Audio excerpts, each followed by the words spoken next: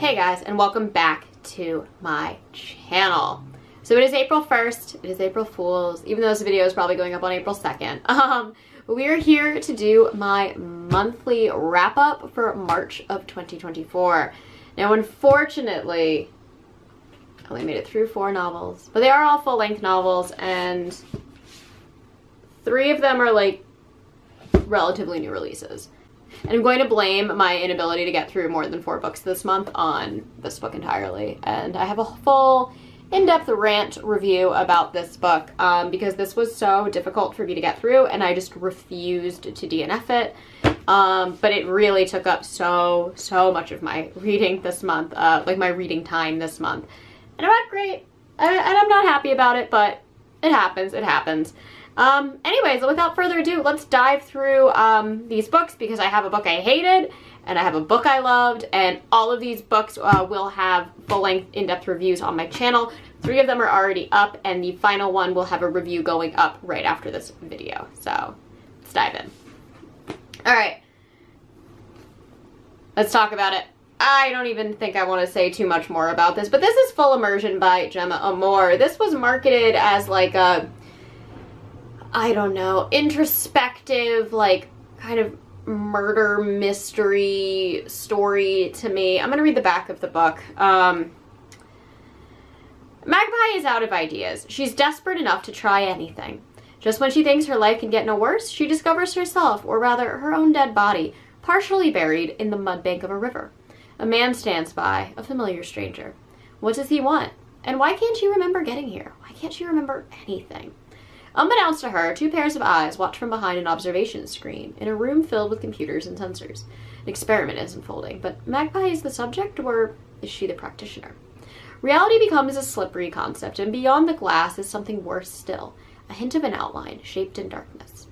Magpie realizes all too soon that her journey has transformed from healing to survival. She must become the hunter rather than the hunted, with her missing memories the prey. In turn brutal, beautiful, and absolutely terrifying, Full Immersion is the latest speculative horror from Gemma Amor.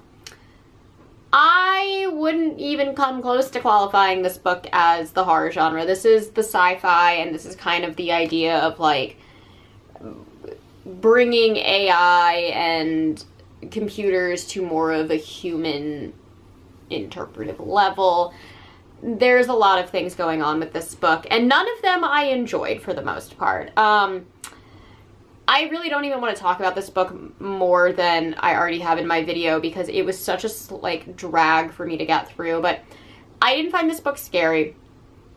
Um, I really didn't love our main character, and I felt that there was a lot of like misogynistic um, messages in this book.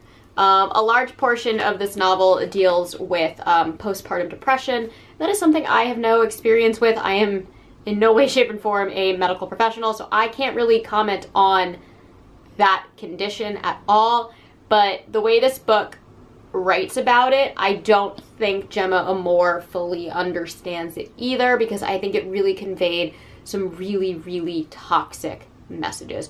This is a book that really wants to tell the reader that a manipulative, um, abusive relationship with your husband is okay, that women are designed for being childbearing mothers and that is what their sole purpose is and they need to be happy with that even if they don't like it. Um, and a lot of other not so fun things to read about. Um, it is done in a way that uh, really limits our characters to pretty much three main characters and one kind of scary villain, I'll call him, because um, I really don't want to call him like a main character. I just found him evil and unlikable. Um, and banks on a twist that I not only saw coming, but uh, is revealed to our main character, and she refuses to acknowledge or accept it for like another 30 to 50 pages. So we really get a nice like double reveal on the twist when she finally is like, oh, I get the twist now. It's infuriating.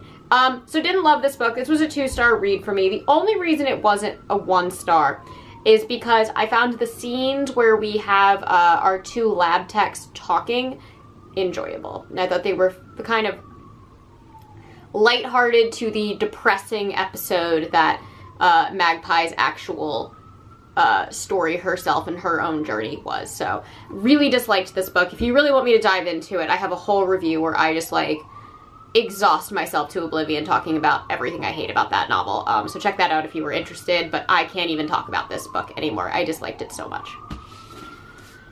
Next up, we have The Haunting of Velkwood by Gwendolyn Kiste. Uh, I received this in Sirens. Really, really loud sirens. Sorry, guys.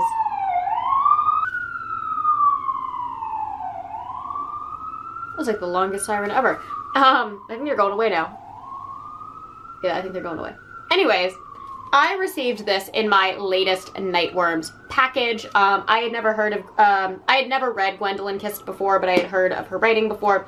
And I was really, really interested in the premise of this. I'm going to read the inside flap of this cover as well. Um, and again, I do have a full in-depth review on this novel. The Velkwood vicinity is the topic of occult theorists, tabloid one-hour documentaries, and even some pseudoscientific investigations. Oh my god. What is happening out there? Okay. As the block of homes disappeared behind a near impenetrable veil that only three survivors could enter, and only one has in the past 20 years. Until now.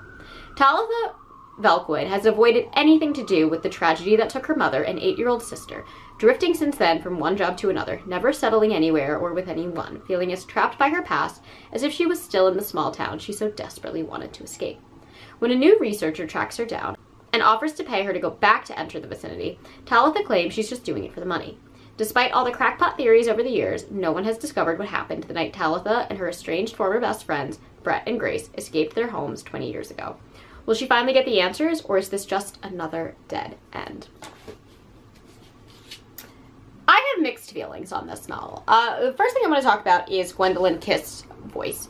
I really, really, really like her, her entire tone when writing. It made this book very readable, very digestible, very interesting to me. I wanted to keep turning the page. Um, it's only, it's just over like 200 pages and I was able to read the first like 115 pages in the first day. Um, so it's definitely a voice that I click with. My problem, however, was that I couldn't click with the characters at all. Um, I found them to be extremely flat and one-dimensional and showing very, very, very little growth, even though we're seeing both their teenage counterparts reflected in their present day, like kind of 40 year old counterparts. Um, and then I found the story to really need fleshing out. This is one of those instances where I think if the book had been longer and kind of trimmed a lot of the um, unnecessary side characters to focus more on developing our main characters and developing the lore in this story, I would have really, really enjoyed it. Because the ideas are there. The ideas are definitely there. Um, this is marketed as like a haunting. I don't think it is. It's kind of this like weird interdimensional Schrodinger's cat, are they alive or dead moment. Um, and that's really, really cool. And it feels more like an imprint haunting. Um, than it does like a traditional ghost story. So if you're going in for something that like follows the lines of like how ghosts normally act in uh, like fiction um, and folklore, this is not going to follow that. Um, and not in the way that September House does, where it's just a very like unique version of a haunted house. This just really, I don't think it, ghosts were the right word for this. Um, that's not to say it's not cool, but because she's kind, Gwendolyn Kiste is kind of banking on the fact that she's using the term ghost, um, she kind of brushes a lot of explanations and world building for this kind of interdimensional unit aside.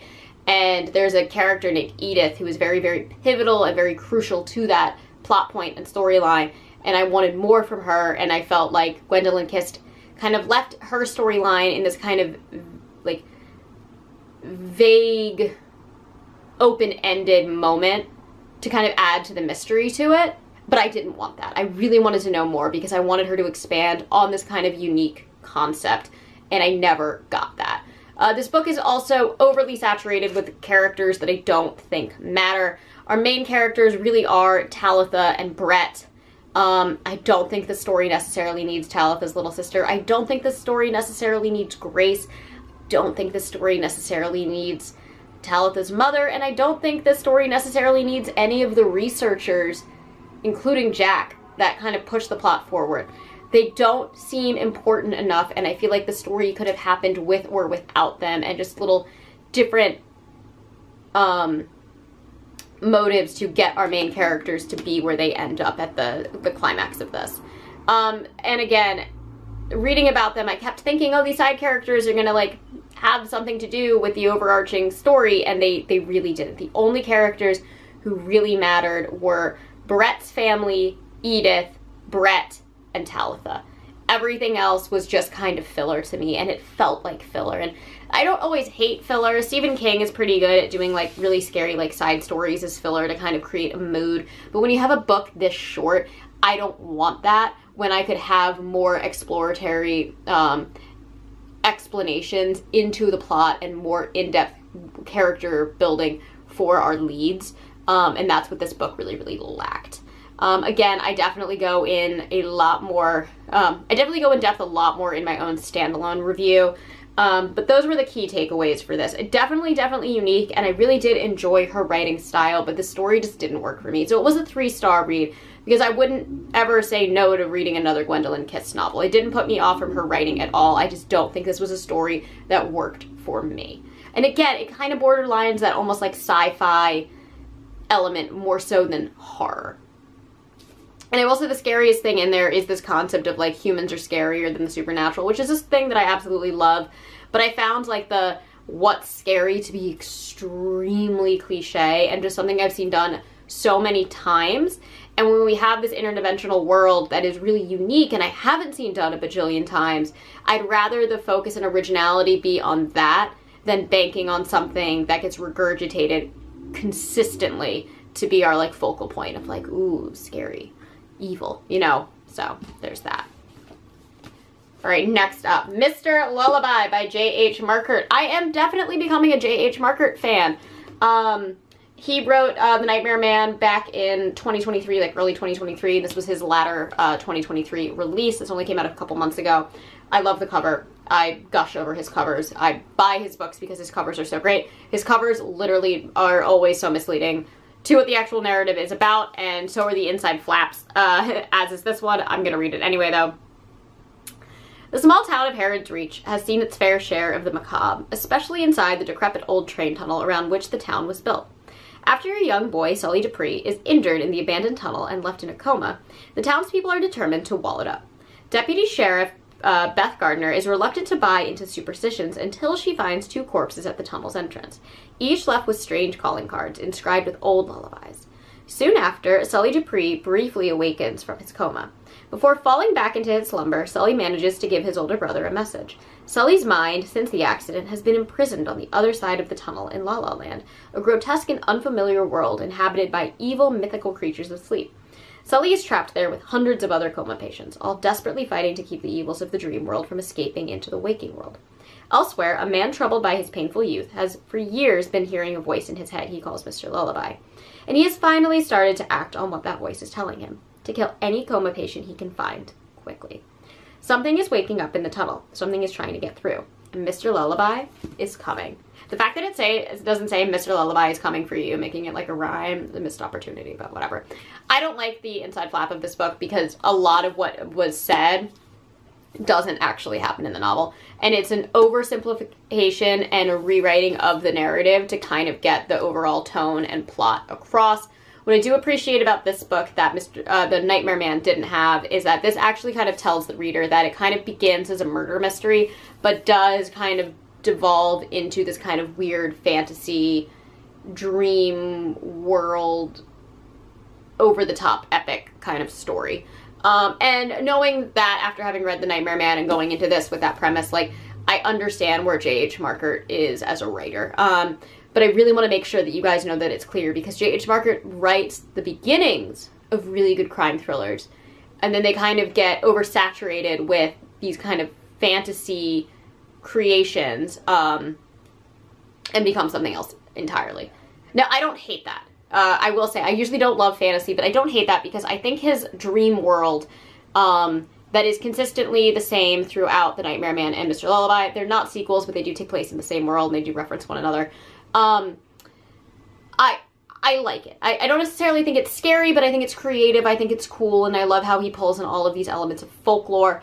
Um, and I think he's doing a really good job at at his world building. What what this lacked, this is this is bringing in. Um, however, very similar to The Haunting of Velkwood, I can't say I loved the characters, even though I did enjoy his writing style. Um, every every single villain in this book I think is well done, well written, creative. I want more from those villains. I felt like this this is this is a world of villains who are all kind of serial killers. It's not really a spoiler, it's just kind of you're going to find that out really quickly. And they're all very creative. Like they to me they feel just like like something you would see in an episode of Hannibal. Like they feel very much like a Bryan Fuller villain. And I really enjoyed that. What I didn't love is our main character, uh, Beth. I thought she was awful. She is kind of lauded as this like amazing, um, dedicated, loyal police uh, sheriff or deputy, or she whatever. She she's like the main force on the. She's the main person that we're reading this uh, story through. And I just found her despicable. I found her morally awful. I found her selfish. I found her um, just to be honestly one of the most unlikable characters I've ever read in a lead. I really, really hated her. Um, I thought she was mean. Um, and it's just consistently glossed over, like, how mean she is to her, like, I guess, quote-unquote best friend, who really gets the short end of the stick kind of a lot. His name is Gideon. Um, and while I liked Gideon as a character, again, we, we don't get much of him because he's really overshadowed by this Beth character. And then we have Maddie, who is another character that really pushed my suspension of disbelief because I am willing to sit here and be like, cool, like Dreamland exists. Monsters from another universe can come through tunnels. Like, like, I I can believe all of that. I if you set it up in the story and it makes sense, I can believe all of that. What I cannot believe is that a random 22 year old girl can convince random strangers across America to believe in the things she is saying with little to no proof and just either A, show up at their house or B, be like, hey, I'm like on the phone. I don't believe that and I really wish that that had more explanation behind it because it just felt lazy. It just felt like it was being said to push the story along to get where we wanted to go. The other issue that I had with this book is that it really doesn't have an ending. And I said this and I complained about it in my review, but I felt this whole time as I was approaching the end of the story that there wasn't enough, there weren't enough pages left for the story to be fully told. So then I got into thinking, I was like, oh no, I just accidentally picked up another series, or like maybe we're gonna find out the Nightmare Man and Mr. Lullaby are all connected and it's gonna be one large series and I just didn't realize it. Nope, standalone novel. This is a standalone novel, but it doesn't have an ending. We get almost every plot line left entirely open and it, it, it ends on a freaking cliffhanger. It ends on a cliffhanger, and it ends on a cliffhanger that I don't care about. And it's not like one of those like vague endings like Paul Tremblay does in like um House uh, Cabin at the End of the World, where like you can look at like two possible options and like kind of figure out what the two options are and choose which one like makes you feel better. You know, Turn of the Screw does this as well with um uh the nanny or the governess and Miles and their storylines and how they end. Um, but for this, I, I have no room for interpretation because I don't know what happens. And if there is an ending set down, there's like major plot holes that all of a sudden come out, which makes me think that's why he didn't write an ending. Now, I will say this novel was actually um, written before The Nightmare Man. He did write it before, stopped in the middle of it, wrote The Nightmare Man, published The Nightmare Man, then came back to this. Um, so it definitely reads far more like a uh, debut novel than The Nightmare Man does, and I think that that's why. But I enjoyed the story of The Nightmare Man overall. This one, I enjoyed the journey and really was not satisfied with the ending. So three stars, three stars. I will absolutely read his um, upcoming novel Sleep Tight. The cover also looks very, very cool, but I like this world he's created and I like what he's trying to do. Um, and I think, again, it's, it's very, very different and it's very, very out there, but I definitely want him to kind of tie up some of the loose ends that he creates in his stories because I feel like they, they stay loose. they stay loose. Okay, and last but not least, I did it, guys. I read it. I read it. I'm so happy with it. Uh, this is The Hollow Dead by Darcy Coates. And I'm not going to read the back of this book because this is book four in the Gravekeeper series. I love this series. I hate series. I am not a series person. Um, but I will read every single book that uh, comes out in the series. I believe there's only one more. Um, but I love this. If you don't know uh, what the Gravekeeper series is, Darcy Coates is a kind of like cozy horror author. So she writes kind of like cute, comforting ghost stories that have some really, really messed up imagery in them. And I, it's a very fun balance. I read her books as palate cleansers when I read something that's too dark, or I want to pull myself out of a reading slump and read something that I know is probably going to be a four or five star read. It's, it's very rare that Darcy Coates released a book that I don't like, though it does happen. Um, the basic premise of this is we follow our lead, Kira, who wakes up one day in the woods. She has no memory of how she got there or what's happening, but she's being chased by this group of men. She is able to lose them um, in the small town of Blighty, where she befriends uh, a pastor and two kind of oddballs and kind of rebuilds her life there while trying to figure out how she ended up there and who these men are who are chasing her um, and why they're after her. At the same time, she also learns that she can see and communicate with the dead. She sees ghosts she uses her powers to help them move on, a lot of times figuring out what unfinished business they have left behind. So we follow Kira and her friends Zoe and Mason on this journey to figuring out who she is and why she's there.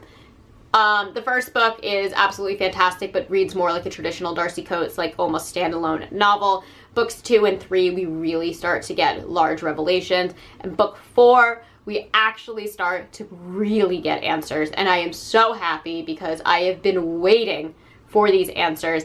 And now it's getting weird and convoluted and all over the top. And there's like magic cats and like a bad guy who has a name and returning nemesises and Zoe's getting a much more fleshed out um, backstory. And finally, and most importantly, Harry Kennard, the goth kid, who has kind of made cameos in books one, two, and three, is having more of a dominant role in the friend group, the friend group of Zoe, Kira, and Mason. And I'm really happy they're finally doing it because Harry and Zoe are my two favorite characters, and I really hate how Harry is this like major side character. I want him to fully be indoctrined as a lead character with our other three um, I think he really balances out the group and the dynamic, and he's very, very funny to read about. Kira is our like cliche main character heroine. Mason is our like very, very responsible, uptight potential love interest. Zoe is the quirky one who has kind of a dark past. then you have Harry, who again is just this kind of like oddball goth character who brings so much lightness and humor to some of the heaviness of the story, and I just really enjoy him, and I really hope that for book five, he remains a main character. And if Darcy Coates wants to extend this to like six, seven, eight, nine, ten books, I would keep reading this because I just have so much fun with the characters and the setting um, and the mystery behind it all. And I, I think book three was probably the weakest, even though it gave us the most answers. But this one might actually be my favorite. Um, I really, really enjoyed this. This was a perfect five stars for me. I read this so quickly and it was just so fun and over the top and it's now kind of expanded outside of the the constraints of like Blighty and like the small town. I'm really getting a huge look at what this organization is and who Kira is and how her friends all connect and I just adore this series and that's so rare for me because I hate series so much in general. Um, but yeah, I'm really, really, really happy about this and I will be doing a full in-depth review on this. Um, I'm going to try and keep it spoiler-free for this book, but it won't be spoiler-free for the series because um, I want to be able to talk about things that happened in books 1, 2, and 3, and I don't really want to do that here in this video. So keep a look out for that. That should be the next video that I upload. Anyways, that is all that I have for you guys today. As always, I try to post every Monday and Thursday, sometimes on Saturdays. And if you enjoy these videos, please the like and subscribe buttons down below, and I will catch you on the next one. Mwah!